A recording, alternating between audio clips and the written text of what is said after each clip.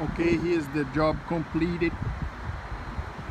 Full reupholstery including the bimini. Maduka's ice cream.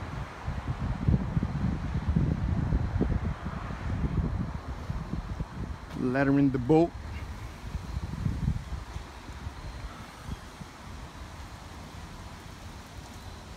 Look awesome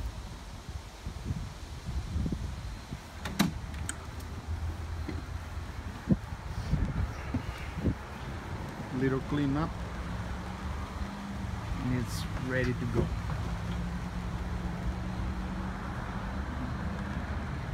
Give us a call for an estimate. Thank you for watching